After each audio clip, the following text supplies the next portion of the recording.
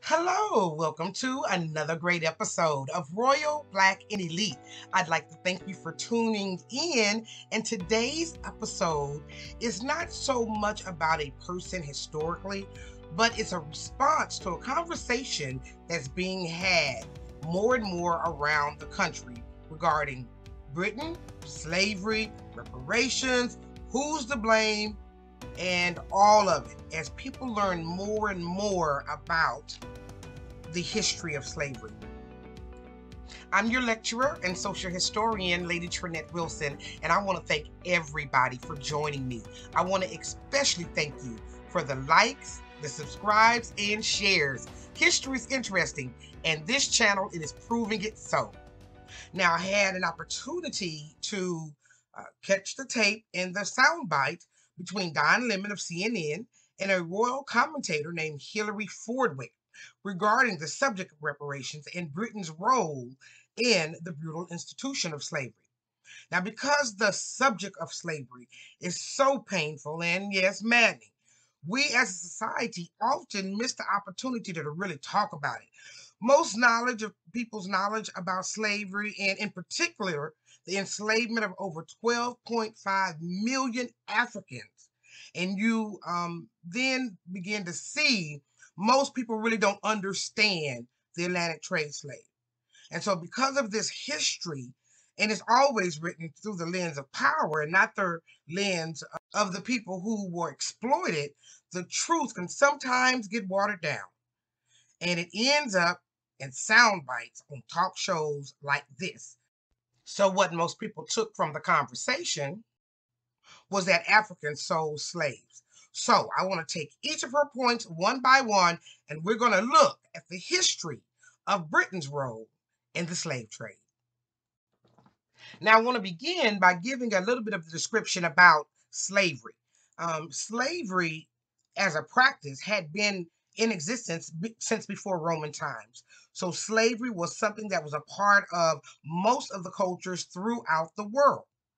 And people were slaves for various reasons, like if they were captured during a war, if they were a criminal, or even if they owed a debt. So the practice had always been around when it came to people enslaving their own people. They would also conquer people in their own region and enslave them as well. So that's really how cultures began to grow all over the world but not until Britain's expansion and colonization all around the world did slavery become a system of business, but most of all, began to target the African people. Britain accounted for 40% of the Africans sent to North America, and the Portuguese accounted for the other 30%. So, not only in the actual country but also as they expanded into North America and Spanish colonies. They supplied these colonies with slaves in order to work on sugar plantations, cotton plantations, and many of these people were really literally worked to death. So to say that Britain's entire empire, along with the US's, was completely built on the practice of slavery is not an exaggeration. And I think the healing can take place when we can admit the truth of what happened and then move forward in knowing that truth. The scab keeps getting peeled off when we find out little by little who was complicit and what happened during that time. Slavery was a big part of the British economy. It built the British economy. Number one, they produced the goods that the British Empire traded with other countries. Number two, it provided the physical infrastructure that revered architects built upon. So the physical infrastructure, meaning buildings, streets, plumbing, all of it, urban planning, concrete, all of it. They built the city literally with their hands. But then also they provided the human infrastructure, the human capital that it took to build these things. Number three, they maintained entire households so that the British royalty and slave owners in general could mine their fortunes. So it is not unusual for generations later for people later, after after all this is said and done, to look back and say, how do you repay a people who worked an average of 3,000 hours of unpaid work annually for 400 years? Now, in Britain's first documented participation in the Atlantic slave trade was in 1550, when Sir John Hawkins of Plymouth, who is said to be the pioneer of the English slave trade, formed a syndicate with other merchants, and they were hijacking Portuguese slave ships. Now, the Muslims and the Portuguese, they had, all, had long been involved with the slave trade. Um, and so Sir Hawkins saw this and he took advantage of it. Records indicate he sold 1,500 slaves from 1560 to 1568. And the only thing that stopped him was that he lost the battle to the Spanish and he lost five ships. Britain continued to dirty its hands in the slave trade when, in 1660, Charles II turned it up a bit and he gave it structure.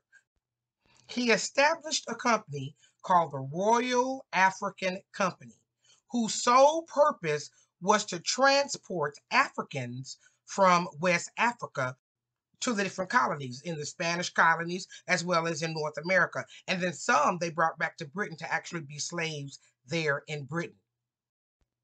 By 1699, London had become a major trading port for slaves, mounting 12,100 slave voyages. So between 1662 and 1807, British and British colonies purchased 3.5 million Africans, and 2.9 million of them ended up in North America. So when Britain tries to wash his hand and say, well, you know, we, we were the champions of abolition, it's like throwing a rock and then hiding your hand. You were complicit you trafficked over 3 million slaves and to not be truthful about it um, and for historians and commentators um, to take a, a, defensive stance about it it makes it appear to be um, insensitive around the subject and insensitive to the people who went through this ordeal. Now, I want to give the definitions of reparations because she used a um, some terms and some things, and I want to make sure we're all clear um, as we open up the discussion and talk about the three points. I'm going to give my three answers. Y'all are going to leave your comments, and we're going to keep the conversation going because this really is the only way that we can lead to healing and not insulting and hurting one another. According to Merriam Webster's online dictionary, a reparation is the making of amends for a wrong one has done by paying money to or otherwise helping those who have been wronged.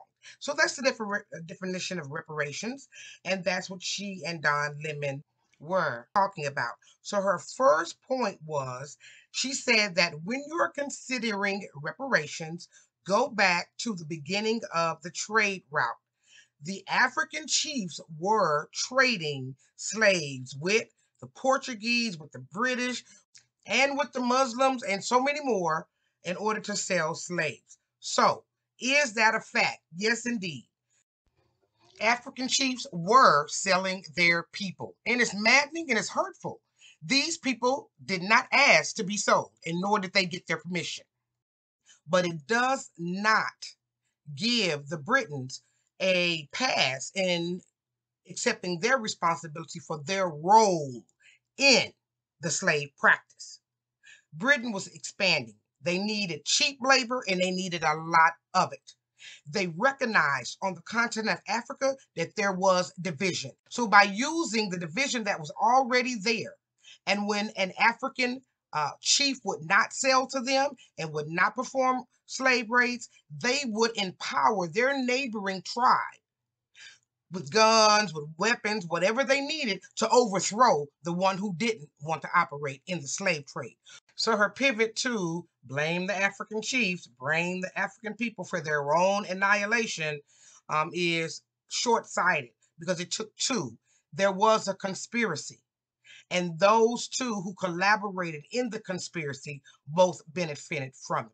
So if you're going to blame the African slaves, you too have to take responsibility as well.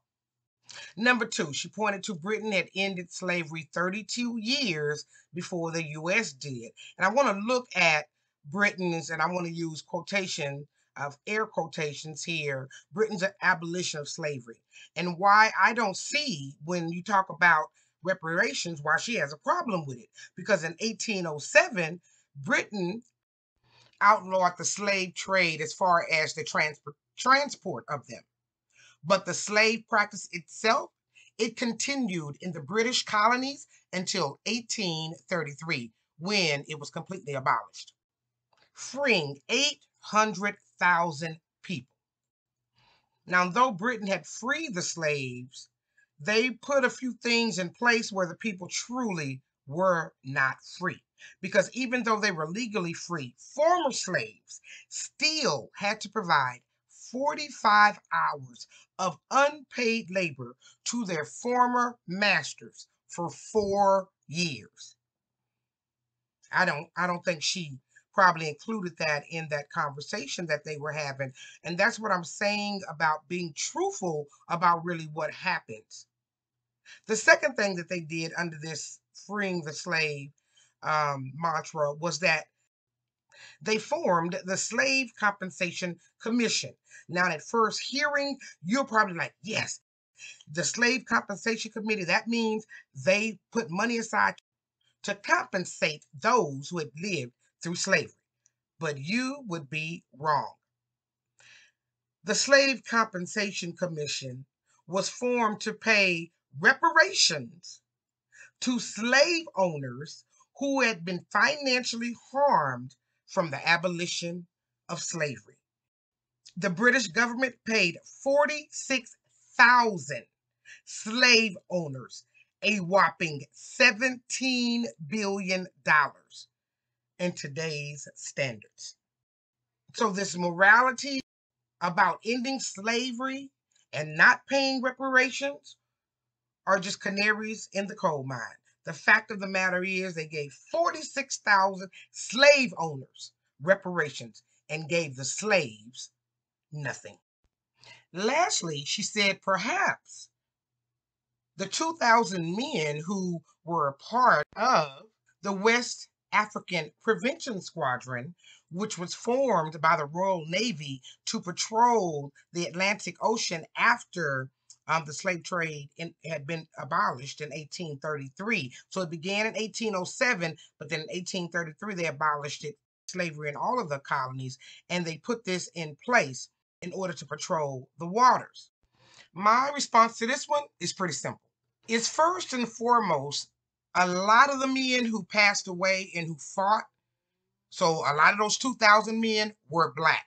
The British Royal Navy often used Africans um, in their ranks.